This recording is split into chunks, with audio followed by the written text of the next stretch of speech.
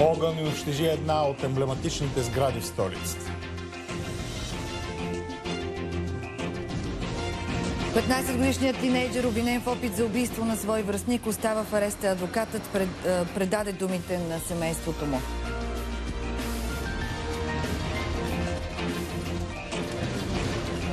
Умишлен ли е бил палежът, който изпепели царските конюшни в София? Отговорът на живо. Много бързо се разрасна. За около 10 минути до 3,5 вече целият покрив гореше. Гърмяха прозорци, падаше върху тях. Какво се случи с 15-годишният тинейджер, обвинен в опит за убийство на свой връстник и думите от адвоката му? Ако трябва да избирам между това, моят син да влезне в затвора или това момче да, да оживее, по-добре моят син да влезне в затвора. 14 жертви и над 160 ранени след разрушително земетресение в Индонезия.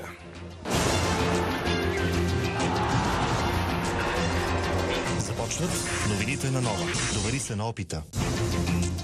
Пожари спепели част от царските конюшни в центъра на столицата. Огънят е пламнал рано тази сутрин. Инцидентът се случва малко преди сградите да получат статут на паметник на културата от национално значение. Умишлен ли е палежът? Ивомира Пехливанова с отговорите. Здравейте, пламъците избухват около 3 сутринта и за секунди се разрастват. 8 пожарни автомобила и около 30 пожарникари се борят с огъня в продължение на няколко часа. За щастие няма пострадали хора, нито сериозно засегнати съседни сгради, сред които е и първа английска гимназия. По случая тече разследване, а от утре специално сформирана комисия в общината започва опис на щетите. Около имота от години има скандали и тежки съдебни спорове. През 2016 стана ясно, че бившият областен управител на София Веселин Пенев е продал конюшните на Бесеница, като по този начин е ощетил държавата за милиони левове. Делото все още продължава в Софийския градски съд. Халет първи забелязва пожара и се обажда на спешния телефон 112. По думите му, пожарните коли пристигат след две минути. Беше малък, който започваше директно от покрива, не е започвал отдолу. Лявото крило, т.е. От, от тази страна. И, а, и много бързо се разрасна. За около 10 минути до 3,5 вече целият покрив гореше. Имаше три крана такива, които отгоре изливаха вода. Заедно с приятелите му оказват съдействие на пожарникарите. Това беше първото, което ние реагирахме, да предупредиме съседите, които са тук, дима, нали, да се затворят прозорците, за да не влиза дима в тях, защото е опасно, ако спът да, да не се задушат. Много бързо дойдоха паяците, които вдигнаха колите, които бяха отстрани до пожара. Защото гърмяха прозорци, падаше върху тях. Огънят започва от централната сграда в комплекса, който е използван за конюшни по времето на цар Фердинанд. След това се е прехвърлил на съседната сграда. Пожарната е била тук. Контролирано е гасенето на пожара от 3,5 до този момент. Продължават процедурите по гасенето на оставащите тлеещи гнезда. Към този момент щетите са минимални. През февруари тази година столична община е поискала от Министерството на културата сградите да бъдат обявени за паметник на културата. Запазването им е предвидено и в устройствения план, като не се допуска пристрояване, надстрояване и ново строителство. Днес в съобщение във Фейсбук кметът на София Йорданка Фандъкова заяви, че ще задължи собственика на сградите да ги възстанови в автентичния им вид. Ние ще предприемем действия спрямо собствениците, ще ги информираме, че е наложително веднага да се предприемат мерки по обезопасяването, въпреки че в момента се водат дела. Отново във Фейсбук заместник метът по културата Тодор Чубанов се обърна към министра на културата с въпроса дали знаковите обекти в риск ще доживеят експертите от културното министерство да си свършат работата. По думите му сме свидетели на вероятно умишлен акт на посегателство срещу културното наследство. На същото мнение са и очевидци на пожара. Според мен е 100% умишлен палеж. Това са много хубави имоти, които според мен искат да ги унищожат, за да може да ги вземат и нещо да ги застроят. От Министерството на културата за сега отказва да коментират случая. Свързахме се с един от собствениците на имота. По думите на бизнесмена Янко Иванов, неговата част не е пострадала, а са горели постройки, които от години са необитаеми и се водят собственост на държавата. Дали пожарът е бил запален умишлено или не, отговорите ще получим едва когато приключи разследването. За сега обаче никой не може да каже кога точно ще стане това. Информация на Ивомира Пехливанова. Благодарим. 15-годишният тинейджър, който рани с нож свой връзник, остава в ареста. Магистратите решиха, че Даниел Бекверди не трябва да бъде освободен с по-лека мярка, въпреки възрастта си. Т.е. повдигнато обвинение за опит за умишлено убийство. На влизане в съдебната зала Даниел не пожела да коментира пред медиите, но в залата се разплака и обясни, че е посегнал на 16-годишния християн, защото го турмозил. Адвокатът му заяви, че ще обжава мярката още утре. Има данни по делото, че в продължение на повече от почти цялата учебна година е бил турмозен от свои съученици. Като изключиме вербалните обиди, имало е колажи с неговото лице, сложени на хора, които извършват хомосексуални действия. Съжаляваше и ние два дена с родителите му се опитвахме в Пирогол да видим, да се добереме до някаква информация как е момчето. За първи път ми се е случило, бащата момчето каза, ако трябва да избирам между това, моят син да влезне в затвора или това момче да, да оживее, по-добре моят син да влезне в затвора.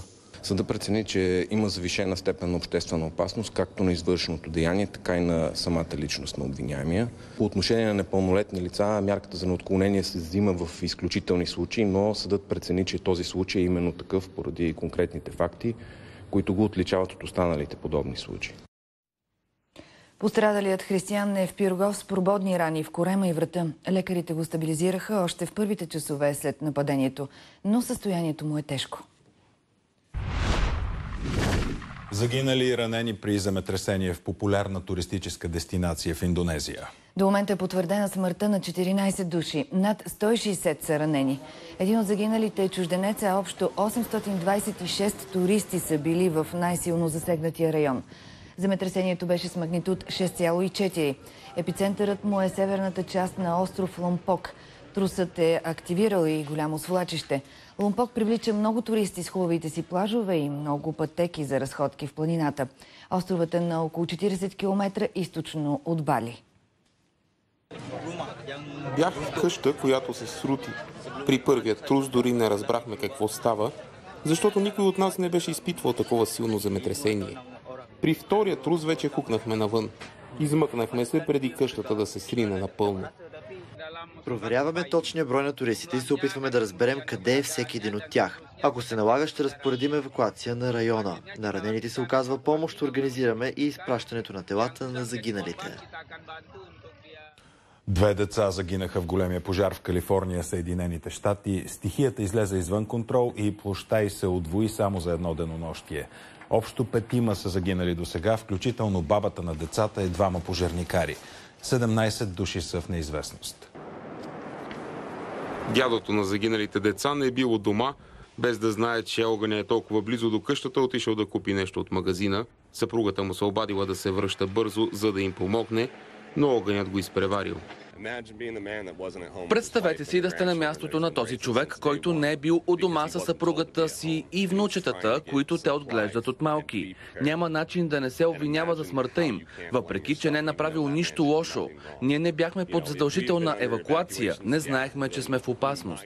Над 3000 пожарникари и 17 хеликоптера гасят пожара, докато почиват по време на 24-часовите смени, огнеборците спят по земята. Въпреки усилията им, под 10% от огнения фронт е овладян. Вече изгоряха около 500 имота около град Рединг, още 5000 са заплашени. Този пожар е огромно предизвикателство. Гори в труднодостъпни райони и се разпространява във всички посоки. Дори от самолетите, преминаващи на над 10 км височина над Северна Калифорния, се вижда мястото на пожара. Димът се издига на няколко километра височина като огромна гъба. Махайте се възможно най-бързо. Това е единственото, което младото семейство Бълбък чули. Те са едни от хилядите евакуирани. От всичко, което притежавали, останал един куфър с дрехи. Градът вече не прилича на мой дом. Заповедите за евакуация остават в сила за 40 000 души от района на град Рединг. Повечето от тях ще трябва да изчакват угасяването на пожара, за да разберат дали имат дом, в който да се приберат. А климатичните промени, на които сме свидетели през тази година, значително ще увеличат природните катаклизми. Според експертите, глобалното затопляне е допринесло за екстремно високите температури, които обхванаха Великобритания и Северна Европа в последните седмици. Горещата вълна е причинена от необичайната липса на вятър. Той обикновено носи студен атлантически въздух над континента. Спирането на ветровете в северното полукълбо и честите аномалии от жега до студ все по-тясно са свързани свързани с затоплянето на планетата.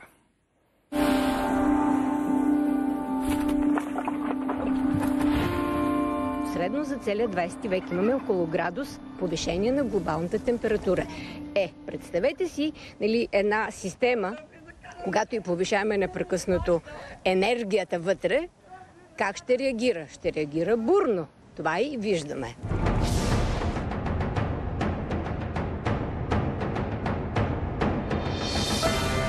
Аномали на валежи, аномали на температури, нетипични неща от столетия, вероятно, като пожари много на север. Колосалните финансови щети и трагедиите те първа ще се увеличават. Много сме близо до момент, когато нещата наистина ще излязат извън контрол. И не, не е нормално. Ние виждаме едно типично а, британско лято в България от повече от месец, а същото време виждаме на северните ширини на Европа точно обратното. Пръстовите отпечатъци на изменението на климата са видими от северния до южния полюс. Виновно е това, че дълги години се опитахме да отлагаме неизбежните решения за справяне с климатичните промени. Естествено, че не. Значи просто ние няма да ги спрем, да се адаптираме към случващите се промени в климата. Спешни мерки, но не само локално, а в глобален мащаб пестене на енергия, рециклиране на отпадъци, седене на дървета. Не на последно място опазването на околната среда, водите като ресурс, най-северните райони на Финландия бяха измерени рекордно високи температури над 32 градуса. За сравнение, по това време на годината температурите там се движат между 5 и 10 градуса. В Антарктида пък учени регистрираха световен рекорд от минус 98,6 градуса по Целзий. Но тази температура е по сателитни данни. Рекорда за мене и като учен е температурата измерена на полюса на студа. Това е руската станция Восток, минус 89,3, защото това е температурата на въздух. За новините на Нова, Живко Константинов. А сега за един уникален медицински случай. Жена роди здраво бебе след 30 химиотерапии. Родилката вече се възстановява в майчин дом. С още информация от там сега включваме Деница Сороджийска. Става дума за млада жена, която през 2005 година е диагностицирана с Ходжкинов лимфом. Следват 5 години на лечение, лъчетерапии, химиотерапии и трансплантация на стволови клетки. Днес обаче, 8 години по-късно, тя вече е майка на момиченце. Бебе, което тежи 3 кг и 100 грама. Едно от десетките проплакали в майчин дом през последните дни. И единственото дошло след неповторима борба. Карина. Колко време чакахте за нея? Ами, много години. През 2005-та Анелия се разболява тежко. Около 20. Так му бях завършила. Започна кашлица, умора, вдигане на температура, които бяха симптоми на много заболявания. Но след направен скенер вече се установи, че е лимфом. Започва продължително лечение. Още тогава Анелия е сигурна. Битката е не само за нейния живот, но и за детето, което мечтае да прегърне един ден.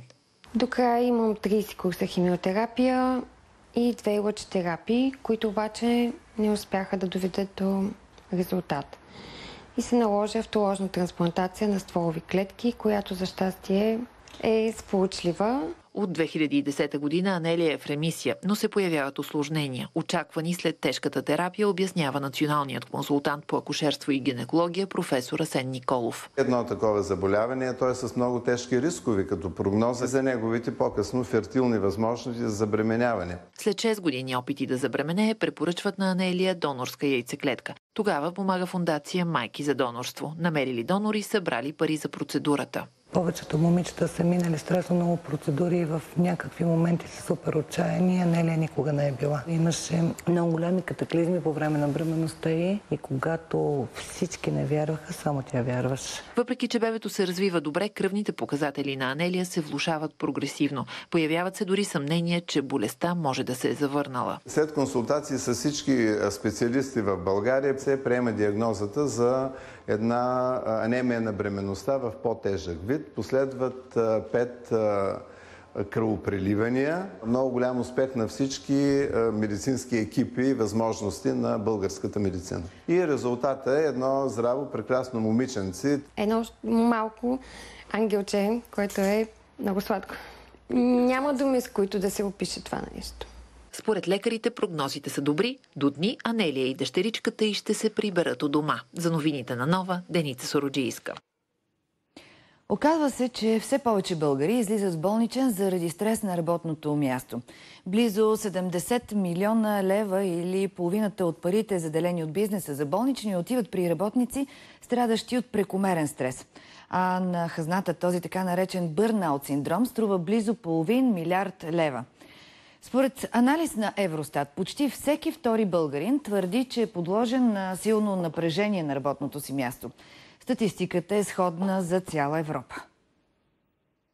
Изтощен до крайен предел работохолик. Така Ралица описва стария си живот като аудитор в голяма международна компания.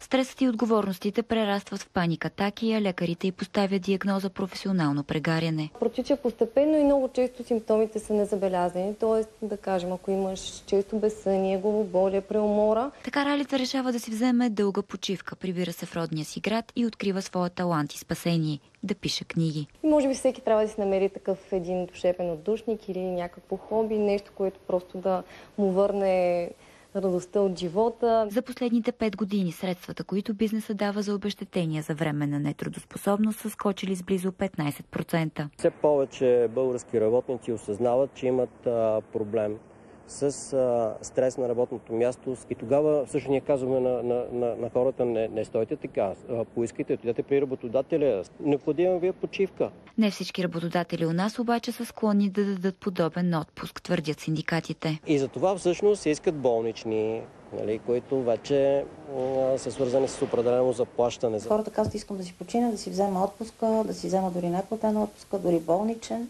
Това обаче не е решение, предупреждават специалистите. Проблемът е, че човек си почива, променя определени неща, има преживяване, че се е заредил, връща се обратно и само след седмица понякога започват да се проявяват същите неща. Своето решение Ралица е открила в промените. Да осъзная кои са важните неща и да се отърва от всички излишни неща, които са ме правили нещастна, са ме натварвали и така нататък. Голям парад на бойни кораби в Русия – Президентът Владимир Путин прие парада, който започна от водите на река Нева в Санкт-Петербург. Участваха 39 плавателни съда и около 4000 моряци. Беше представен и последен модел въоръжение, като нов разузнавателен кораб, който ще действа в Прибалтика. Показана беше и подводница, която е специализирана в елиминирането на ядрени самолетоносачи. Русия твърди, че е построила и фрегата, която е по-трудна за засичане от радарите на врага. Колумбия бандити обявиха награда от 70 000 долара за главата на полицейско куче. Наркотрафиканти понасили огромни щети от работата на немската овчарка Сомбра. Тя надушвала пратките им с дрога, докато работила за отдела за борба с наркотиците в Богота. Наскоро кучето получило медал. Според полицията, Сомбра е разкрила невероятните 9 тона кокаин. След обявената награда за главата му, кучето било преместено на летището в столицата, а скоро му предстои нов трансфер отново с цел безопасност. У нас опера в пещерата. Уникалното събитие се случва в Магурата, сред естествения и декор.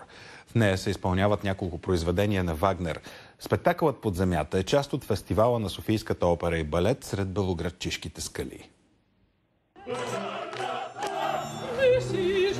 В продължение на месец зрителите имаха възможност да се докоснат до белграчишките скали, сред които звучаха известни оперни и балетни произведения.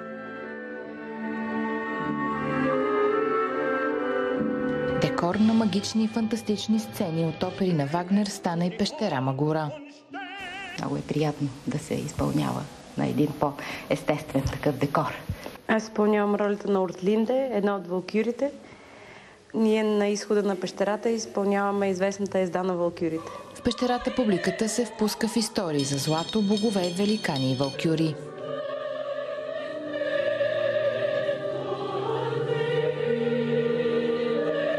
Много интересно е, много по-различно е усещането, отколкото в зала. Музиката някак си се слива с красотата на пещерата. Невероятно е.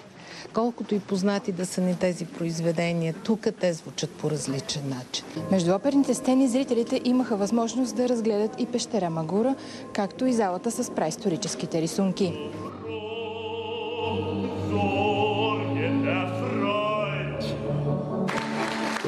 Моите колеги от Советската опера го приемаме като една мисия, в която да разширяваме знанията на нашата публика от всички кътчета на нашата татковина, да я приобщим към оперното изкуство, така че тя да усети по друг начин и от друг, друг ъгъл оперното изкуство.